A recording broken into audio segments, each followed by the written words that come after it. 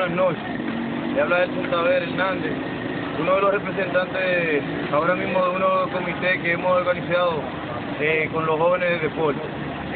Lo siguiente es que nosotros hemos derrumbado esta pared con motivo de que haya más visibilidad al deporte, de que la gente un poco, cada vez que pase por aquí, tenga visibilidad y tenga ya eh, un asesoramiento de lo que se hace adentro de la cancha y lo que no se hace.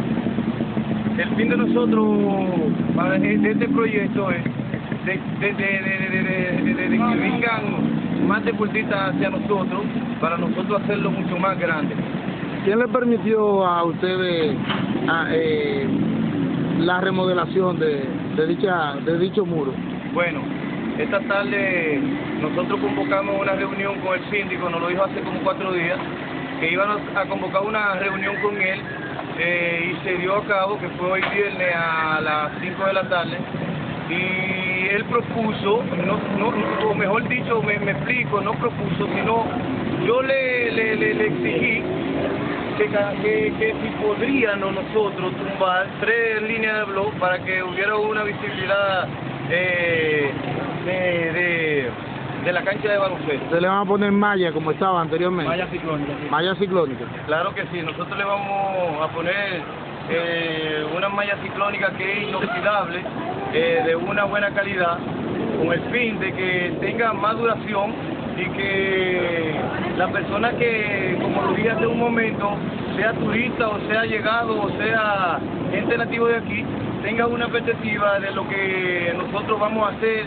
últimamente en el futuro contra con, con los niños que van subiendo ahora y ya con la juventud que está que tiene asesoramiento ya de lo que se refiere al baloncesto. Ok, entonces ustedes también han estado, por, por lo que puedo ver, ustedes también han estado remodelando lo que son los tableros, aros y demás. Sí, lo siguiente es que nosotros mañana tenemos la instalación de dos tableros nuevos que le vamos a dar una condición que va a perdurar mucho más de lo que estaban antes. Lo siguiente es que nosotros pudimos conseguir una ayuda de alguien que realmente me, me, me cohibo de decir el nombre para que no sea ningún tipo de política, porque lo que buscamos aquí no es política, buscamos realmente que nos apoyen a nivel de, municipal y a nivel de cualquier gente que quiere portar un grano de arena, bueno, se lo vamos a aceptar con mucho gusto, pero el propósito es de que las cosas de nosotros sean más duraderas y con, y con más calidad. Ustedes entonces están solicitando que al el pueblo se le una y no los políticos, sino claro, el pueblo. Claro que sí, nosotros no estamos basándonos realmente a, al ayuntamiento ni, ni, ni al Estado, simplemente queremos una ayuda que, que nos tiendan la mano, aquí se lo, lo, lo, lo puede aportar como son las la, diferentes empresas de aquí de, del municipio de Sosúa.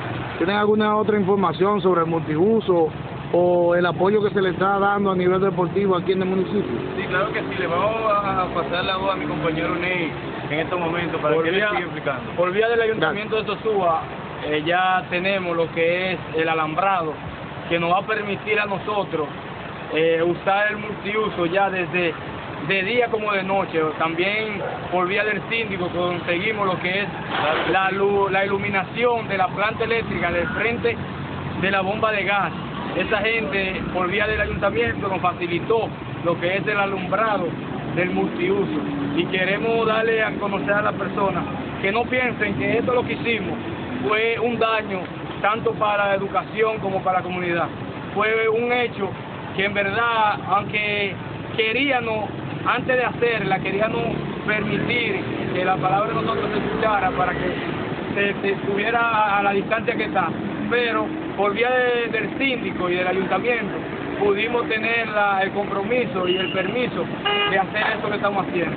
Eh, el objetivo de nosotros no es buscar con fines de lucro, el objetivo de nosotros es darle el crecimiento a los jóvenes y a los niños que van creciendo ahora para que tengan un mejor desarrollo y su talento ellos se lo exhiban a la comunidad de Sosúa.